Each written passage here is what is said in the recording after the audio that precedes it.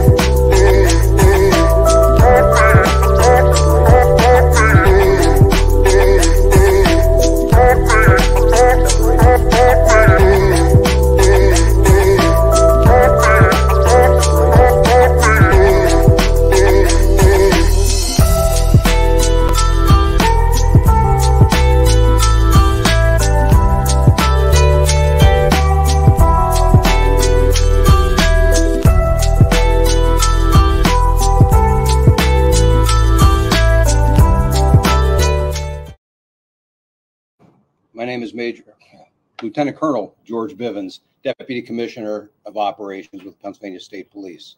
Uh, with me is Major D'Ambrosio over to my right, uh, the area commander uh, for this area of the Pennsylvania State Police. Uh, also, I'm joined by District Attorney Deb Ryan and also Rob Clark from the U.S. Marshal's Office. As you know, on the morning of Thursday, August 31st, inmate uh, Danelo Cavalcante escaped from the Chester County Prison.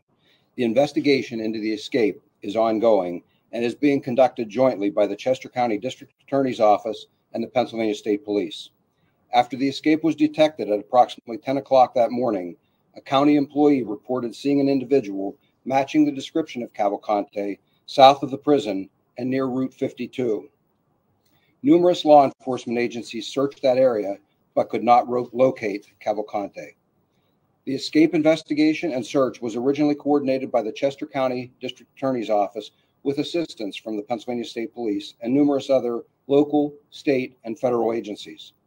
With much of the effort now focused in PSP primary coverage area, District Attorney Ryan has requested PSP to take a leading role in this investigation.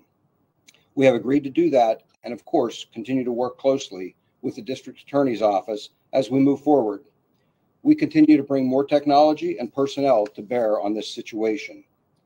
Since the day of the escape, there have been several credible sightings within an area bordered by the intersection of Route 926 and 52, north on 52 to Parkersville Road, southeast to 926, and west to the intersection of 926 and 52 in Pocopson Township. In total, there have been four sightings within that boundary. The most recent credible sighting occurred yesterday afternoon, also within that bordered area. We have secured that area and continue to actively search it. While there are a number of challenges, we are confident that if he is in there, we will find him. We are asking for the public's help in a number of ways. First, familiarize themselves with the photograph and description of Cavalcante. There is every reason to believe he remains in this area. Second, within the secured area I have described, as well as near there, we are ask, asking residents to check on their neighbors. If they're not at home, please let us know so we can check their property in their absence. We know that we have numerous homes within the search area in which we presume the occupants are away for the holiday weekend. We have been checking the exteriors of many of those homes, but as they return, if they find anything disturbed, please stop and call us so that we can check it out prior to them going through the residence. Third, please check your home security cameras and call us with anything suspicious you might observe. There's been a tip line established, and we can be re- reached at 717 562 2987. 717 562 2987. All tips, of course, will be fully investigated. We also remind everyone that a reward totaling up to $10,000 has been offered for information leading to the capture of Danelo Cavalcante. I wanted to say a couple of things to the community as well, if I could. First, you may be hearing a message uh, that's being broadcast from a helicopter or from cars in the vicinity of that perimeter that I talked about. One of the things that we have done is we've had the the um, individual's mother uh, make a recording asking him to surrender peacefully. Uh, it's it's done in Spanish or actually Portuguese, and uh, and it's being broadcast in an effort to uh, facilitate his peaceful surrender. Secondly, we're also asking the community to avoid that uh, the wooded area or anything outside of the immediate uh, area around their homes in that perimeter that I described. Uh, as I said, we're actively searching that area. We're certainly not uh, trying to lock anyone down, but we want to keep residents as safe as possible while we uh, thoroughly search that area. So again, we ask them to refrain from from that area. And I'd also like to thank the community for their support. You know, this has gone on for a couple of days now. Uh, I know it's stressful for the community, but I want to assure you that all of us up here and our respective offices are working diligently to bring this to a conclusion as quickly as possible. Please know we are devoting all available resources. We're constantly identifying additional needs. We're making sure we bring those in, um, and, and we will resolve this as quickly as possible and as safely as possible. With that said, um, we'll be happy to take questions if, if any of you have any. For the most recent sighting, um, can you just describe a little bit about what he looked like? Has he changed his appearance at all, or, and what was the nature of that sighting? The appearance was uh, very similar to what we've described, um, perhaps uh, looking a little more worn and tired, but uh, a very brief sighting. And it was uh, a trooper actually that observed him uh, in some distance, uh, gave chase, but was unable uh, because of the terrain and some some other obstacles there, was unable to get to him before he disappeared. Where did he run off to, or can you just give a little? Uh, it was all within that perimeter area, but uh, I, I don't want to be any more specific than that. Can you elaborate on what makes it uh, a credible sighting? Is it all visual or are there video components to any of it? Uh, one was a video sighting that I believe you have all seen. Uh, we've analyzed that video. Uh, the others are not video, um, but uh, after extensive interviews, uh, we believe them to be credible sightings. Do you have any reason to believe that he's being assisted by anyone out there at this point? I wouldn't want to comment at this point. Uh, we, will of course explore all avenues, and that's all we look for. But uh, but I wouldn't want to go into anything more right now. Can you confirm he broke into the house? I'm sorry. Can you confirm that he broke into the house and stole food when hearing that? We can confirm that we have investigated um, actually two burglaries. Uh, the evidence is still under analysis at this point, and so I can't confirm that it was him, but uh, they are of interest to us. So is that why you're telling people, because after this holiday weekend, like you said, people haven't been home, so Well, not only because of those two instances, but we know that um, that he is going to be looking for a means to sustain himself. He's going to need clothing. He's going to need uh, food, uh, and and just to get in out of the weather. It's pretty hot out there. Uh, I'm sure he's looking for some some better shelter. So uh, for a lot of reasons, we would be concerned about where he might hide. Did you dispatch any of your troopers to water line drive for one of those uh, apparent burglaries where That's that's within the uh, search area, and yes, we have investigated a number of things within that search area. I don't want to get any more specific than, than that. obviously it's been five days, so he needs to sustain himself in some way, but then water, as you mentioned, finding some type of shelter. Um, talk to me about when, when you're looking for someone who is in a desperate situation right now, what are those things that you're taking into account um, in terms of his needs? Well, from experience, there are a lot of things that we'll consider, but certainly um, you have to keep in mind he's stressed right now. Imagine any one of you uh, being placed in a situation where uh, you may not have had a chance to pack. Uh, you don't have things with you other than what you're wearing, and you don't have uh, cash. You don't have a credit card. Uh, you don't have any other means to support yourself. You're going to be desperate, and and that's the situation he's in. But it's also why. Um, one of our uh, practices in how we conduct uh, these types of uh, investigations and manhunts is that we'll continue to push him hard. I intend to stress him. I want to push him hard. He'll make mistakes. He'll show himself. He's already shown himself, we believe, a few times. We'll contain him and we will eventually catch him. Um, we will do it as quickly as possible. Obviously, it takes time. He is desperate. He does not want to be caught. He has very little to lose at this point. With, with school starting up soon, uh, will the search efforts impact any bus stops for children? How should parents kind of deal with that? So I'm going to defer to the school districts to, to uh, communicate that information out. I can tell you that uh, we have been in touch with the State Department of Education, uh, having discussions about this. And, uh, and, and also uh, the district attorney has been in touch with uh, several of the local superintendents. We're going to have another discussion later this afternoon. Ultimately, uh, the decision rests with the school districts. Uh, We can provide them uh, sort of the latest picture of what's going on in their areas. And then we ask them to make that decision and, and communicate that out to the parents. This is for of deadly Deb force Ryan. apprehendum? Yes, Elaborate a little bit more on that. if he is not actively surrendering, deadly force is authorized. This is for Deb Ryan. Have you completed your investigation into the prison break at this point, or are you still? reviewing things? Mike, Okay. our, our goal right now is to find this man and capture him. So we are, are channeling all of our efforts to bring him into custody. That is secondary. That is certainly a concern, but at this point, all manpower has been executed to, to find and hunt down this fugitive. But it's been five days, how can you not explain how he escaped? As I indicated, our focus right now is to capture this fugitive. He's a dangerous person. We will be able to update our investigation with respect to what happened at the prison at a later date.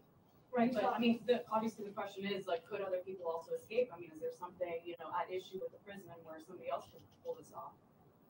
They have been looking into what happened and they are investigating what happened. I'm not at liberty at this point to share with the public what is going on with respect to that investigation.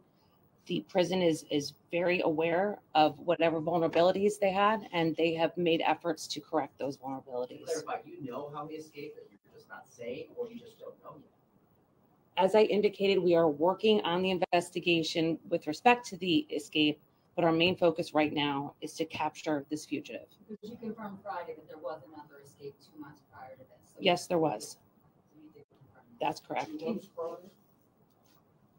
I believe it was in May of this year. Okay, so that's not two months.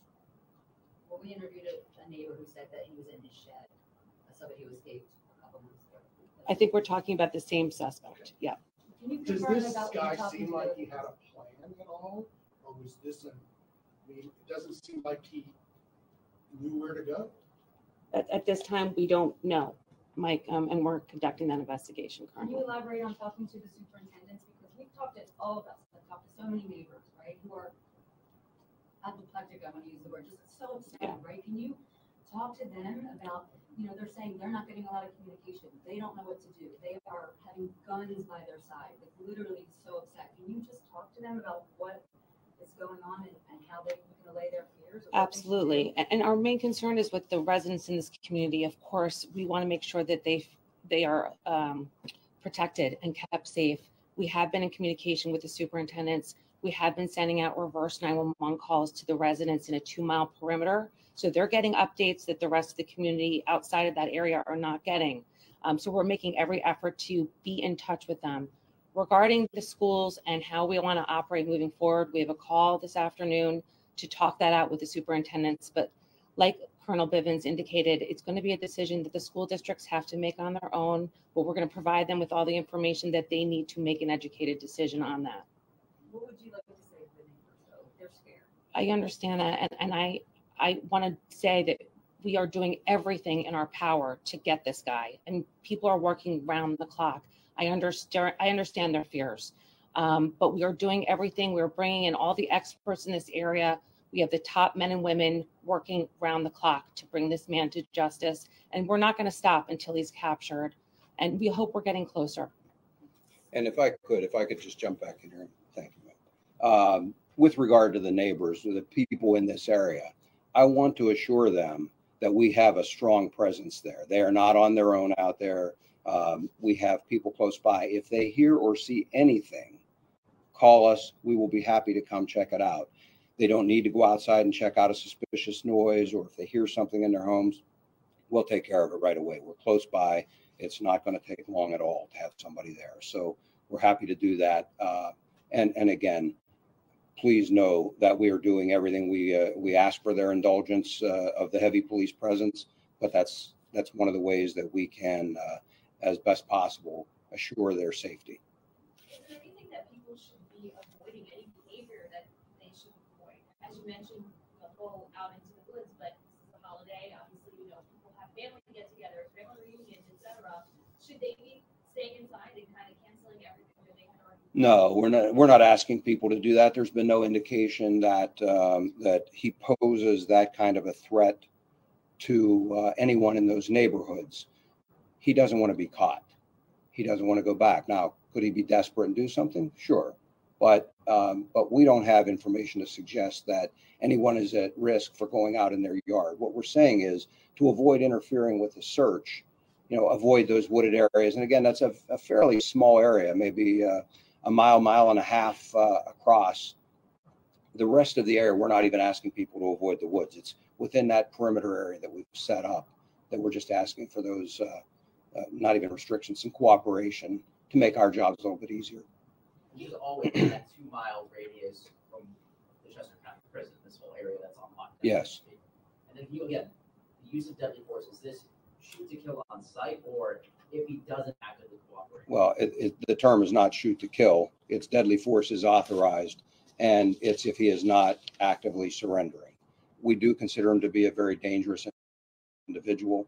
He is convicted of homicide here, uh, was involved in, an, I'm told, another homicide in uh, Brazil uh, some years ago.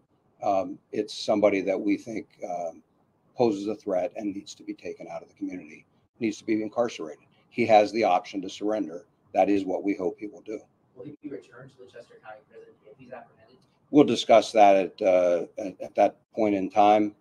But what I would tell you is that uh, I I can assure you that uh, there will be secure measures put in place that he won't be escaping again.